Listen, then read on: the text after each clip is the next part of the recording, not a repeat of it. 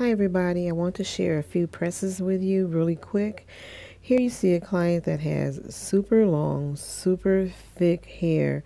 I pressed it using one pass only and the hair came out very weightless.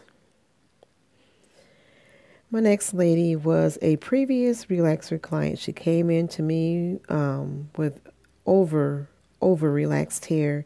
Uh, we transitioned to natural. Took us about two and a half years.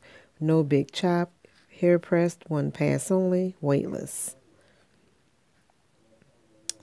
This young lady never had a relaxer. However, she does have chemical in her hair. She has a double process color in. Again, never relaxed, silk pressed, one pass only, weightless.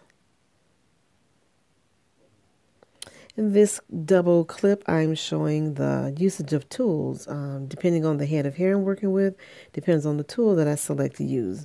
On the left side, I'm using the Chi Iron. On the right side, I'm using the Babyliss Prima 3000.